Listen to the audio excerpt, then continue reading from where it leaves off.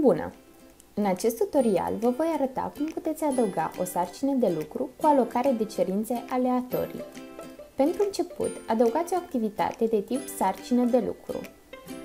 În această căsuță veți trece numele sarcinii de lucru, iar aici puteți adăuga descrierea. De aici puteți adăuga fișiere adiționale pentru a fi utilizate în sarcina de lucru. Din aceste câmpuri puteți seta data de la care se pot încărca lucrările, termenul de predare, data limită și puteți alege o dată în care să primiți notificare pentru a nota lucrările. Pentru a putea adăuga teme aleatorii, trebuie să bifați această căsuță. Bifând aceste căsuțe, puteți alege să primiți răspunsuri de tip text online și sau trimitere de fișiere.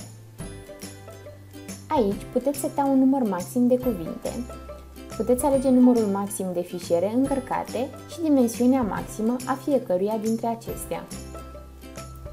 De aici puteți seta tipul fișierelor încărcate. În acest câmp se pot adăuga fișierele cu cerințele. Se pot adăuga până la 400 de atașamente. Aici puteți adăuga răspunsurile, care sunt destinate colegilor tutori care corectează în paralel. Acestea nu sunt vizibile pentru studenți. Denumirile fișierelor cu răspunsuri trebuie să coincidă cu cele ale subiectelor. Din această secțiune se pot configura tipurile de feedback permise. Aici se pot configura setările răspunsurilor.